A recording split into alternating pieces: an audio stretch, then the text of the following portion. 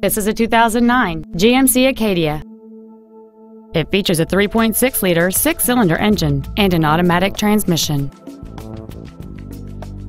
Its top features include air conditioning with automatic climate control, cruise control, a rear-view camera, a rear seat DVD entertainment center, an engine immobilizer theft deterrent system, fog lamps, roof rails, a low tire pressure indicator, keyless entry, and this vehicle has fewer than 50,000 miles on the odometer. Not to mention that this GMC qualifies for the Carfax buyback guarantee. Please call us today for more information on this great vehicle.